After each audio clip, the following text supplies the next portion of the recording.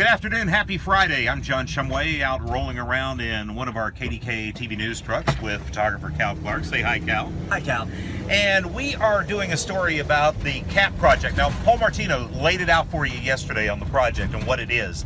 The building of that park that's going to connect the former Civic Arena area down to Downtown. It's going to be really cool when they get it done, but in the process, there's a lot of construction that the Sports and Exhibition Authority and the city have planned.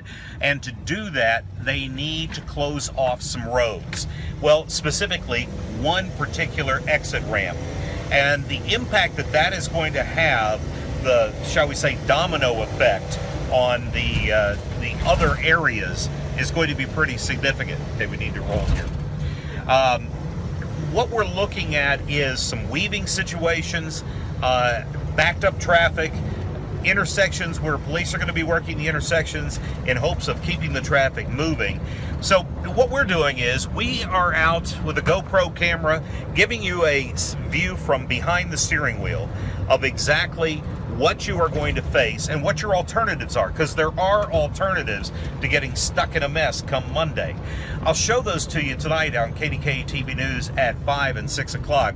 And unlike a lot of projects where, okay, this is going to be for a month, this is going to be for six weeks, nine weeks, three months, this is going to be for two years that this is going to be going on.